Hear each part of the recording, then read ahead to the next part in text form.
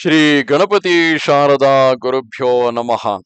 ಯತ್ರ ಯೋಗೇಶ್ವರ ಕೃಷ್ಣೋ, ಯತ್ರ ಪಾರ್ಥೋ ಧನುರ್ಧರ, ಯತ್ರ ಶ್ರೀ ವಿಜಯ ಭೂತಿ ಧ್ರುವ ನೀತಿರ್ಮತಿರ್ಮಮ ಶ್ರೋತೃಗಳಿಗೆ ಶ್ರೀ ಅಳಸಿಂಗರಾಚಾರ್ಯ ವಿರಚಿತ, ಶ್ರೀ ವ್ಯಾಸ ಮಹರ್ಷಿ ಪ್ರಣೀತ, ಶ್ರೀಮನ್ ಮಹಾಭಾರತದ ಆದಿ ಪರ್ವದಲ್ಲಿ ಜನಮೇಜಯನ ಸರ್ಪಯಾಗ ಪ್ರಸ್ತಾವವು ಎಂಬ ಹನ್ನೆರಡನೆಯ ಅಧ್ಯಾಯಕ್ಕೆ ಸ್ವಾಗತ.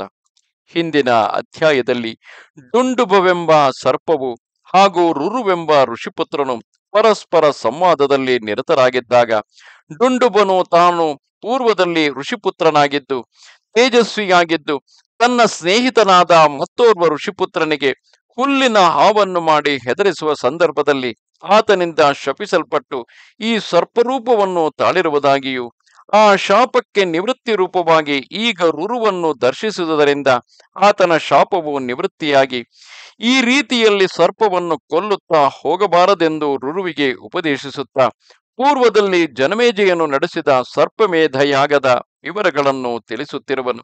ಆ ಸರ್ಪಮೇಧಯಾಗವನ್ನು ನಿಲ್ಲಿಸಿದಂತಹ ಆಸ್ತಿಕನ ಚರಿತ್ರೆಯು ಮುಂದುವರಿಯಲಿದೆ. ರುರುವು ಆತನನ್ನು ನೋಡಿ ಅಂದರೆ ಆ ಡುಂಡುಬನೆಂಬ ಸರ್ಪರೂಪವನ್ನು ತಾಳಿದ್ದು ಪ್ರಸ್ತುತದಲ್ಲಿ ಪೂರ್ವದ ತನ್ನ, ಆ, ಬ್ರಾಹ್ಮಣ ರೂಪವನ್ನು ಧರಿಸಿದಂತಹ ಆ ಋಷಿಪುತ್ರನನ್ನು ನೋಡಿ, ಓ ಬ್ರಾಹ್ಮಣೋತ್ತಮ, ಜನಮೇಜಯನು ಯಜ್ಞದಲ್ಲಿ ಸರ್ಪಗಳನ್ನು ಯಾವ ರೀತಿಯಾಗಿ ಹಿಂಸಿಸಿದನು? ಅವನು ಹಾಗೆ ಸರ್ಪಗಳನ್ನು ಹಿಂಸಿಸಲು ಕಾರಣವೇನು? ಆಸ್ತಿಕನು ಹೇಗೆ ಸರ್ಪಗಳನ್ನು ಹಿಂಸೆಯಿಂದ ಬಿಡಿಸಿದನು?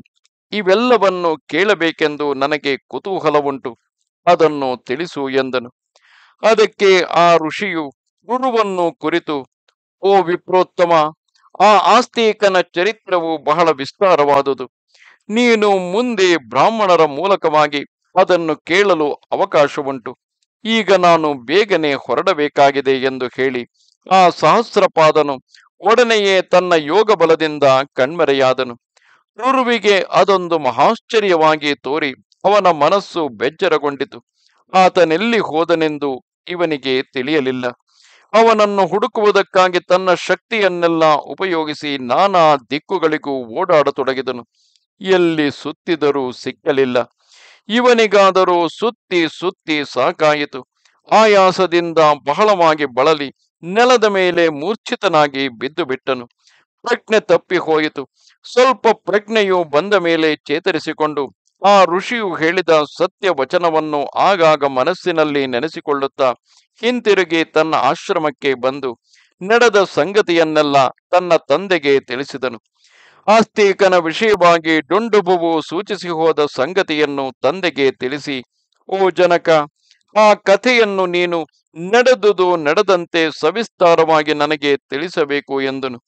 ಹೀಗೆ ಕೇಳಿದ ಮಗನನ್ನು ನೋಡಿ ಆತನ ತಂದೆಯು ಆ ಕಥೆಯನ್ನೆಲ್ಲ ಅವನಿಗೆ ವಿವರವಾಗಿ ಹೇಳಿದನು. ಇದು ಹನ್ನೆರಡನೆಯ ಅಧ್ಯಾಯವು. ಇದರೊಂದಿಗೆ ಆದಿಪರ್ವದಲ್ಲಿನ ಉಪಪರ್ವವಾದ ಪೌಲೋಮ ಪರ್ವವು ಮುಗಿದುದು.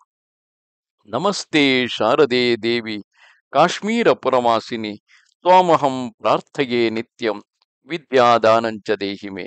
ನಮಸ್ಕಾರ.